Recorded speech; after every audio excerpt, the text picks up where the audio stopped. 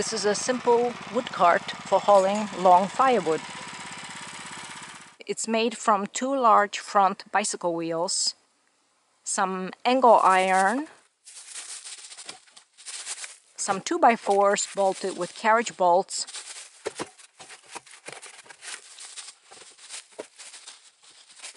and It's all connected to the tractor by the one and a half inch diameter EMT conduit that's 10 feet long. All holes in the angle iron were drilled with a metal bit, so there was no welding required.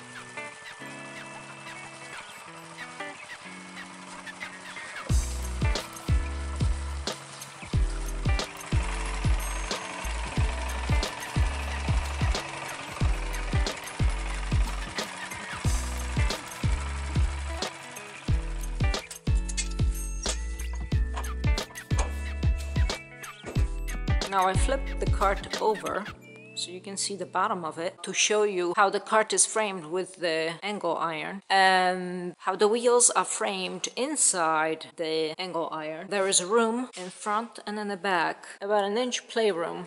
At least one of the holes for the wheel axle on one side is U-shaped. It's drilled open on the bottom all the way through so the wheel could be released and it could be taken off and repaired.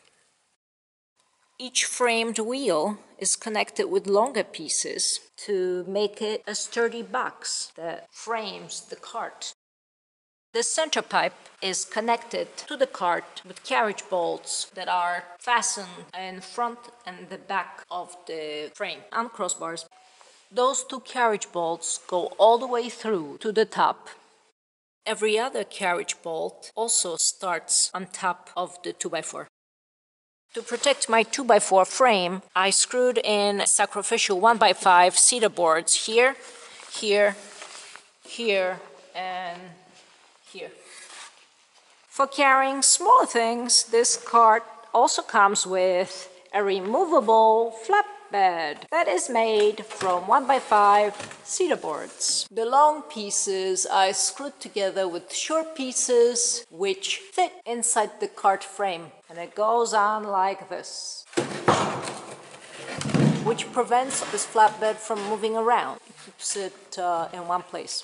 I added two smaller pieces at each end to keep my flower pots or buckets or whatever it is from sliding off. I like exercise, so I have this handle for the cart to bring wood or whatever manually. And how this handle is made is with two pieces of 2x4s connected at the top with carriage bolts and it has a hole for the EMT pipe reinforced with some metal plates so it could take all the twisting and turning and pressure. I'm going to hook it up to the cart now.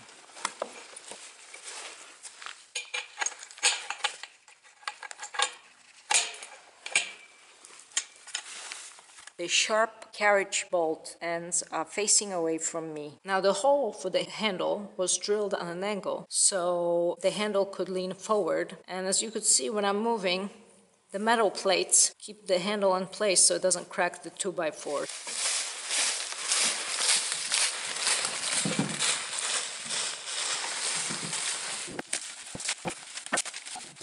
With a load that's high, that's spilling over to the sides, I could screw in four vertical pieces on each end to keep the whole pile in place.